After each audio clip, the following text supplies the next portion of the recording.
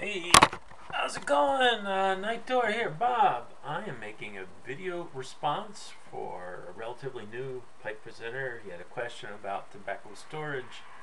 His name is Arab Pipe Smoker. Um, so, his question was, is it okay to store tins like this inside baggies? Um, uh, here's the question. Is it two? There's two answers to that. It depends if you've opened the tin or if you haven't opened the tin. If you have opened the tin, uh, even stored in the baggie, a tin inside of a baggie, it's going to dry out within about a two month period of time, uh, maybe at the outside three months. Uh, you can rehydrate tobacco uh, once it gets dry. And matter of fact, I'll be making a video later on tonight showing how to rehydrate tobacco. Uh, you know, but if you've opened a tin like this, uh, chances are, you know, you're going to smoke through it. You know, uh, a month or two, three months at the most. I mean, you know, so you won't really have to worry about it going going bad. You know, losing freshness, getting dried up. I mean, you'll smoke it up before that ever happens. Now, if you plan on long-term long-term storage, uh, like you actually want to age your tobacco, you know, uh, then first of all, you do not, do not open the tin. And then you don't need to have it in a baggie. Just, just the tin by itself would be just fine as long as you do not open it. Leave it sealed just the way you got it from the store or as it came in the mail. And this stuff will last you 10, 20, 30 years or more just sitting like this. Um, you know, uh, people commonly age uh, tobacco, English tobaccos or Virginias uh, for long periods of time.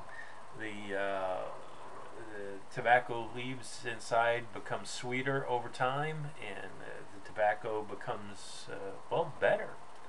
Uh, but like I said um, don't open it and you can keep this 10 you know like I said 10 20 30 years or more.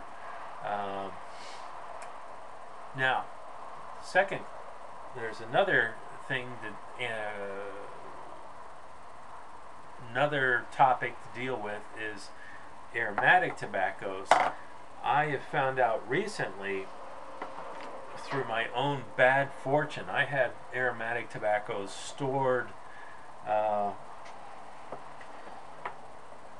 I had a tin of aromatic, uh, not even opened. Uh, it was brand new, had never been opened, it had been stored for a year, and this time I thought it was getting better. I opened it up and uh, it had lost all flavoring. It was like no flavor, smoking tobacco with no flavor whatsoever. And it was supposed to be an incredibly sweet aromatic tobacco. And it was just, it was, like I said, tobacco with no flavoring. It was junk.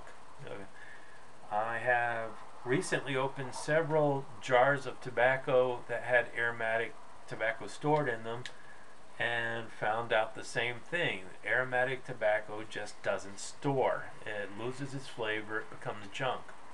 So if you buy some aromatic tobacco, uh, you know, smoke it right away. Uh, it, it you know, long-term storage does not help aromatic tobacco. As a matter of fact, it hurts aromatic tobacco. Uh, so um,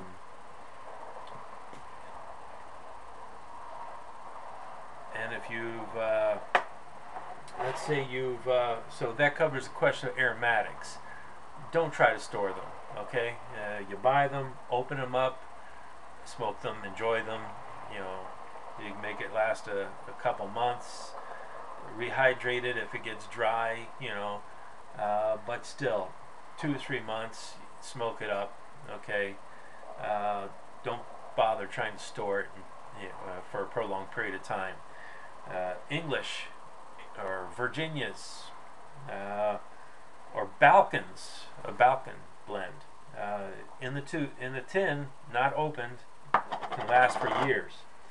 Uh, if you do open it and then and smoke some and then decide you want to store the rest, or let's say you get tobacco in bulk, it comes in bulk. It'll be uh, come to you in a baggie instead of uh, in, in the mail in a baggie instead of in a tin, uh, and you want to take out some of it for smoking. You want to store the rest.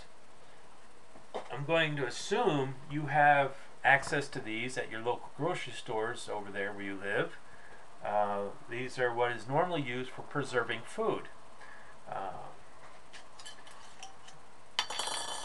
the lid it's a two-part lid, a thin metal part with a rubber seal, a gasket. And uh, what you do is you'll take your jar, uh, make sure it's clean, and uh, uh you put in your tobacco you know, and this is like if you've gotten bulk tobacco in the mail and you want to set some of it aside for smoking and then store the rest. Okay, uh, you do not want to leave that bulk tobacco sitting around in a bag. Do not do that. Take it, pour it into your jar, your your canning jar. You put the uh, little metal lid on there to flatten it. Do not go all the way up to the top. Leave at least an inch from the top, okay? Uh, and the uh, uh, tobacco needs some room to expand as it's aging, okay? Uh, then take the screw-on lid, you put it over top, crank it down by hand as tight as you can go. That's all you need to do. And you put the date on there that you stick it in there and the name of the tobacco, write it on there and stick it somewhere uh, where it's uh, dark and away from the heat. And that goes for tins that you're storing, okay? Uh, uh, you don't want them exposed to sunlight and you don't want them exposed to heat. I keep my tins in my tobacco closet, in my hallway closet. Uh, it's away from any sunlight and it's uh, away from any heat. And it's a great place to store tobacco. Uh, so, uh, I think I just about covered everything. And uh, if you have any other questions, uh, put a comment on the video. Uh, by the way, uh, tell me your name so I don't have to just refer to you as Arab Pipe Smoker. I'd like to be able to just refer to your name. you know, I'm Bob. Nice to meet you. So, till next time, may all your roads be smooth, chicken house is closed, may your pipe never run empty.